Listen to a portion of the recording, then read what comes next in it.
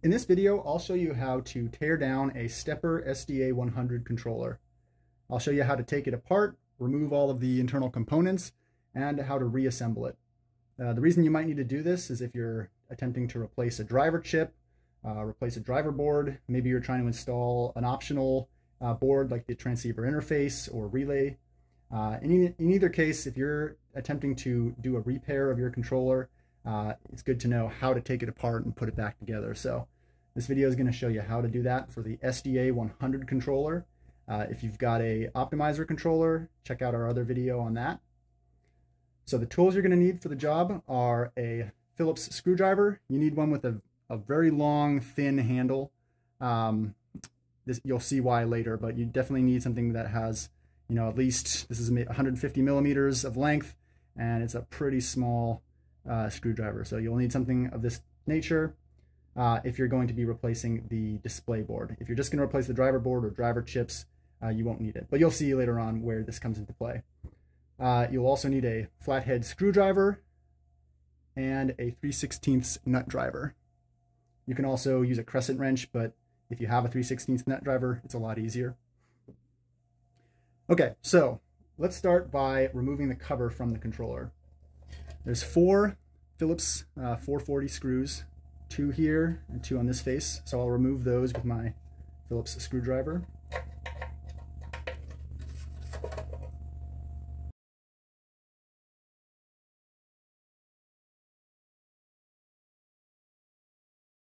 All right, with the cover off, I can see inside of the controller. So you'll notice a couple of things. I've got a transceiver interface board installed I've got a relay board installed. I've got the driver board here. This is an ALP uh, 5 driver board. You can tell it's ALP because of these relays right here. And you'll see that there's five driver chip modules installed. So U5, U6, U7, U8, and U9. So five in a row right here.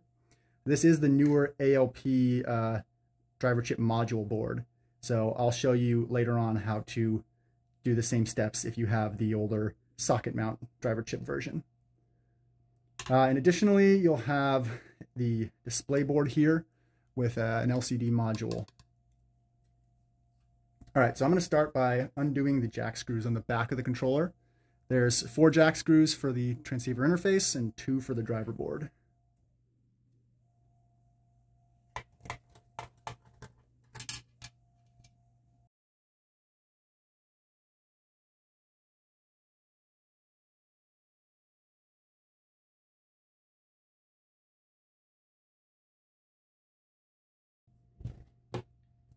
All right, so I've removed the jack screws. The next step is going to be to remove the two uh, countersunk Phillips screws from the driver board. There's one here, and there's one here.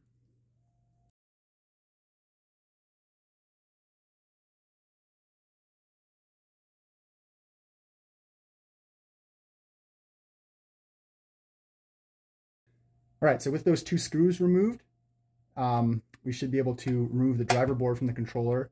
Uh, some driver boards in the past, we used to have a third uh, countersunk screw uh, right over here. So you might have to also remove a countersunk screw from here. So definitely check that um, if, it's, if the board's not coming out for some reason. Um, so we're also going to want to undo this ribbon cable that connects the display board and driver board. So you can just pull out, pull like straight up and out, and that ribbon cable will come off. And then we can just lift our driver board up and out of the controller. Set this aside. Okay, so here's our driver board. And let's start by removing the option boards. So I'll just pull the transceiver interface straight up and off. So now I could replace that with a new one if I needed to. And then I'm going to remove the relay board.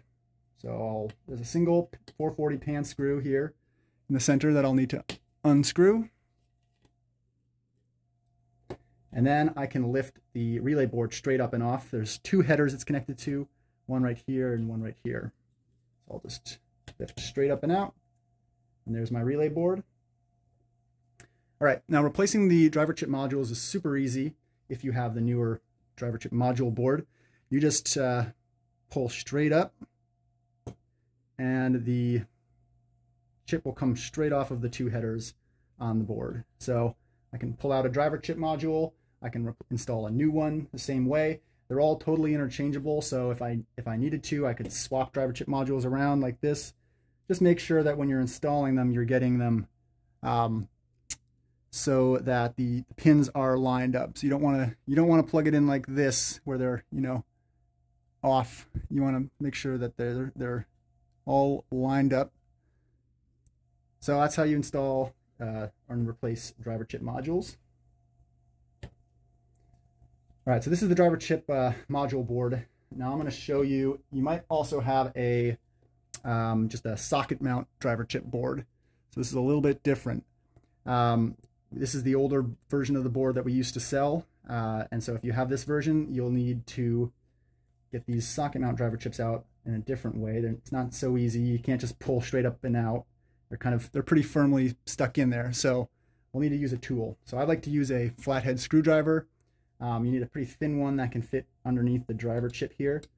But you basically want to push it in and lever it up slowly uh, so that you don't bend any of the pins. That's the real danger is, is bending the pins. So if you pull, pry up from one side and leave the other side fully inserted, it'll bend the pins at that end. So you kind of want to get this, you know, the flathead all the way under there and as best you can lift straight up and out. All right, so I've removed my driver chip here. Um, you can see I did a pretty good job of not bending any of the pins, but if you do bend the pins and you need to straighten them out, you can do that. Just, you know, gently um, push them back into position, uh, but definitely don't do it too many too many times, or it can it'll uh, it'll weaken the pins and eventually they'll break. All right, so that's how you'd remove a driver chip. Uh, one thing to note is that when you go to reinstall the driver chip, there's a little uh, little notch right here in the top that needs to face towards the back of the driver board. So when you're going to reinstall that, point that towards the back of the driver board. All right. So that's how you take out a driver chip. And if you want to reinstall it, uh, you just put it back into place. So line up the pins on one side. And then I like to line up the pins on the other side. You might need to press a little bit. All right, and if any of the pins are getting stuck and not going in, don't force it. Uh, use a use a you know a tool like tweezers or something to kind of push them back into place so that they're lining up with the little holes. And then once you've got it to this place where it's you know halfway inserted and uh, none of the pins are bent, then you can apply some force to push it in fully so it's fully seated in there. That's what you want. You want it fully seated. You don't want any of the any of the pins to be visible.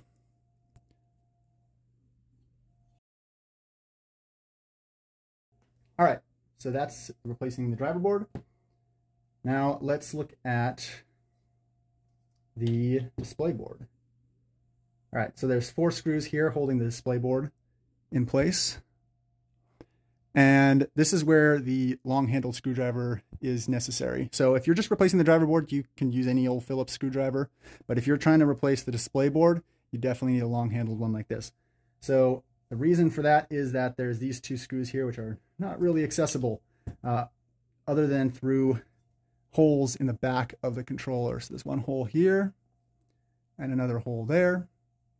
So we're going to take our screwdriver, poke it through there. That'll allow me to unscrew.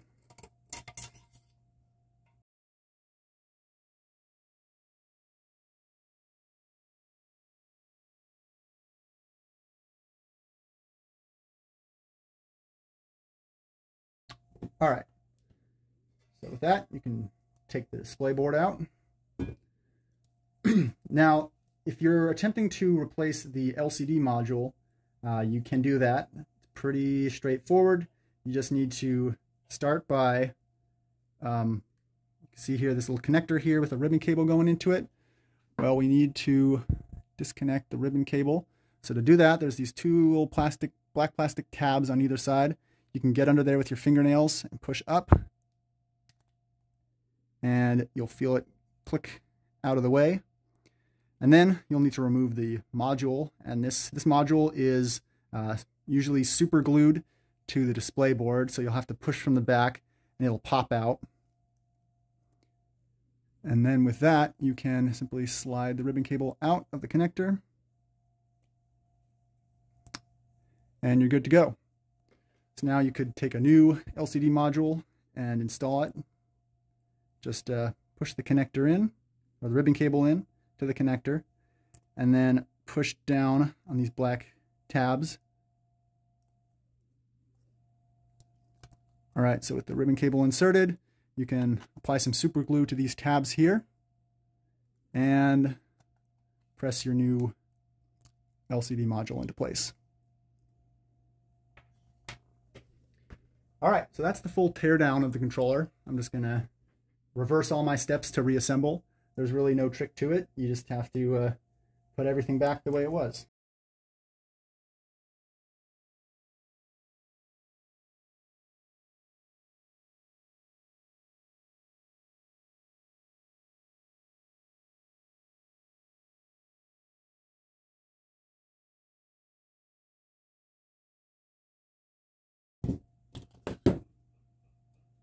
can reinstall my transceiver interface the same way I took it out, just by pressing it straight down in. With the relay board, you'll want to make sure you're aligning the two headers here. A pretty common mistake people make is that they, they're off by one, so they have it shifted so that it's not, not fully plugging into all of the pins on the header. So for example, you might see something like this. You might do something like this where, you know, it's not, not fully on the pins there. You want it to be fully on the header here and this header on the other side, you also want to make sure you're plugged in correctly. All right, so replace the pan screw on the top. Now, when you're going to reinstall the screws, um, at the factory we use uh, purple Loctite on the screws, so I recommend doing that if you're reinstalling it, just so that they don't wiggle loose in the future.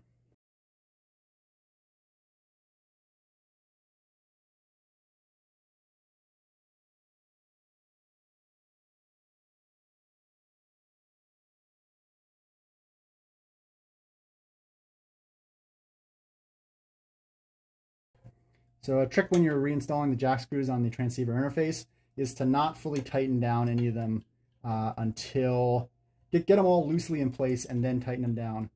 So I'll loosely tighten this one, loosely tighten this one. Same with these two. And then go through and tighten them all down.